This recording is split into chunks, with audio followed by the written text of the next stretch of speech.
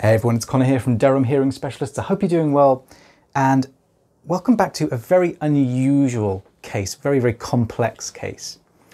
Um, this patient has several things wrong and we're going to go through it step by step.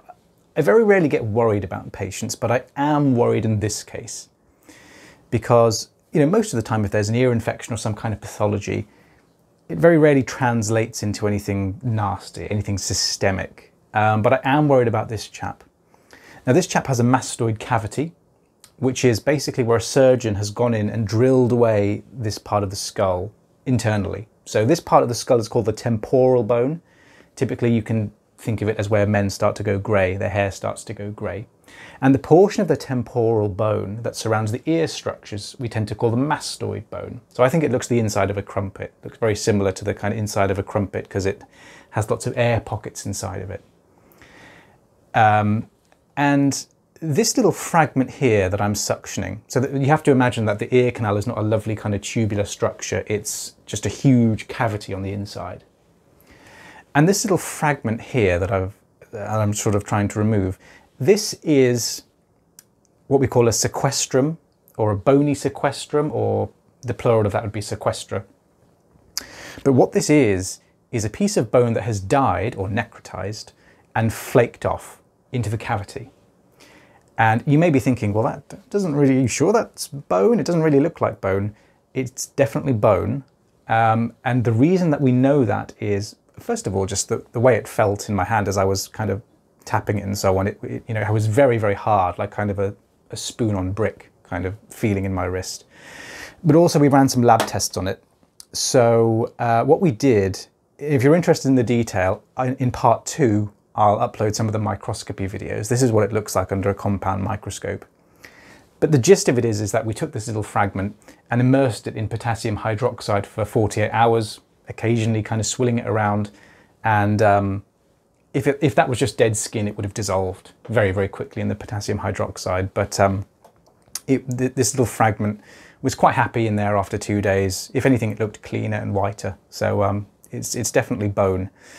And um, that is a worrying sign. Also, the, these kind of yellow fragments here, very, very hard, very distinctive feeling that I'm getting in my wrist. This is not just dead skin. It's not normal stuff that you would suction out of an ear. So there's bone that is necrotizing and flaking off into the cavity. So you, uh, I suppose you could con consider that to be a diagnosis of osteomyelitis or evidence of osteomyelitis, um, which implies that there's been chronic infection in this mastoid cavity, which has caused the bone to lose its blood supply and then for the bone to die and then flake off, as I said, in, in the form of sequestra. Um, but the, the, the, cavity is still infected. There's still infection in there because of this thing here. So if I tilt the endoscope right up, sort of towards the ceiling, you see that little red splodge right there? Looks like a cherry or a raspberry, surrounded by white stuff, which is pus.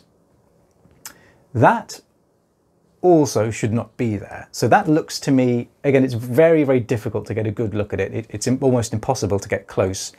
Again, I'm tilting the endoscope right up towards the ceiling. So I'm looking up inside this cavity. And that looks to me like granulation tissue, which again is a sign of chronic infection. It's a sign of trauma or chronic infection or damage, basically. So granulation tissue is, you, you tend to think of it as, as um, there's also some fungal overgrowth here, all these little white splodges. You tend to think of granulation tissue in connection with wounds or burns or ulcers. So if you imagine if you you know, you fell off your motorcycle, you, you, would, you would have the ulcer, which would be filled with this pink stuff granulation tissue. So what, you know, what you have to imagine here is that you know, all this stuff is drilled away where the arrows are, normal mastoid bone, okay? And so this is a kind of, the procedure would have been a, a wall down, a radical wall down mastoidectomy, which would get rid of the posterior wall and the superior wall of the ear canal, creating a cavity. And the granulation tissue is kind of up inside the cavity, so it's kind of there, I think, roughly. So we'll, we'll get up an, another diagram because this isn't showing the brain. There, so this is a, a slightly better diagram. And hopefully you can see from the diagram that actually there's not much space, there's not much distance between the middle ear and the brain. So, and in fact, the roof of the middle ear, which we call the tegmental wall or tegmen tympani, there isn't that much bone there separating the roof of, uh, you know, separating those two spaces. And that's why cholesteatomas are so dangerous because the cholesteatoma can then erode the tegmen tympani and then you're into the brain. So you can get meningitis or a brain abscess, something like that. So, you know, it, it, I, I'm fairly, to some degree, worried about this patient and I've rushed him through to ENT. Um, just as a side point, there's this little kind of pocket here which I'm examining. And um, if you ever want to know what being heavy-handed looks like during a suction procedure, this is a very good example. So this is what not to do. Um, my colleague was looking over my shoulder at the time and we were sort of remarking, you know, look at this pocket, you know, I wonder if there's, it's filled with keratin. Um, and you can see here I'm kind of scraping away and scraping away. This will cause bleeding. So not nothing major, but um, you know, this kind of rubbing and abrasion with the Zollner probe is, is, is not really that good technique. See that right there? So in any case, this, this granulation tissue that's right up inside the cavity, um, I was very worried about. Now, the problem is that I'm not an expert in mastoid cavities. I don't do these mastoid operations. That's the, within the realms of an ENT surgeon. So, although it's abnormal, I'm not entirely sure how, if I'm justified in rushing them through to an urgent, you know, urgent care. Um, what we really need is an ENT doctor to come in here. We need Vik Veer, basically. That's what I'm kind of angling for. We need Vik Veer to come in and tell us, A, am I correct? Is that granulation tissue and is that sequestra? And B, why is it there? presumably due to chronic uh, otitis externa. Um, and three, what's going to happen to this chap? What is, e what is ENT going to do with this chap? You know, does the does the all the sort of necrotized dead bone need to be kind of drilled away? Um, how is the infection going to be treated? What's the kind of prognosis for this chap? So, Vik, if you're watching, I would really appreciate it if you gave us your opinion on this case. Feel free to steal this video, edit it, re-upload it, talk over it, whatever you want to do. But um, we need answers. We need answers. Um, there's the granulation tissue again. And you know, I would, I would love to get close to it. I would never dream of suctioning it because it'll bleed profusely, probably. But uh, I would love to get up close to it. But the, simply the endoscope is not that long. It's not long enough to get right up there. So uh, this, this section here that I'm suctioning, um, at the time, as I, as I mentioned previously, Lils is looking over my shoulder. And we were kind of hypothesizing at this point that this is the eardrum that's been left intact. And in the end, we, we identified that this is the drum. We got the patient to do a Valsalva maneuver. And the patient was able to blow air up his eustachian tube and kind of deflect this eardrum. And you'll see that in just a moment. So um, interestingly, this kind of pink ridge on the left side that I've occasionally kind of touched and prodded, this is what's left of the ear canal wall, or the back part of the wall, the posterior canal wall.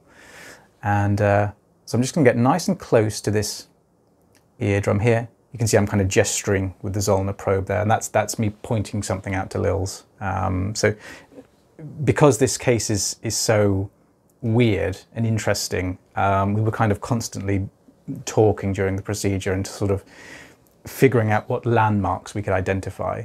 So if you just watch here, watch this grey tissue very, very closely and you'll see it deflect in just a moment. So right about now I'm asking the patient to clamp his nose and I'm asking him to blow through his nose. Yeah, did you see that? Very, very subtle. It didn't really flex like you would normally expect an eardrum to flex, but that's a sign that that's what that anatomy is. Um, so yeah, myself and Lily, we were sort of discussing the case and looking at things. And as a general point, personally, I find cleaning mastoid cavities extremely, extremely difficult um, because everything that you know about anatomy is essentially obliterated. You know, there's it, it's not normal, and therefore you're kind of suctioning in a space where you don't quite know where the perimeters of the cavity are you know, unless you've seen the patient before or you have a CT scan to look at, it's very difficult to know where to poke and prod, and therefore you have to tread very, very lightly. But there we go. So there is some necrotizing dead bone or sequestra flaking off into the cavity. There's some granulation tissue right up in there. Um, very, very interesting case. Uh, now, if I hear back from ENT, which I probably may not, um, then I'll update you on the case. But I would really appreciate it if Vik, you uh, gave us your thoughts on the case because it is so weird and interesting. Thank you very much, guys. Uh, if you have any questions, leave them down in the comments section below and I will try my very best to get back to you. And of course, I will see you guys in part two, where we'll look at this fragment of mastoid bone underneath a compound microscope. See you later.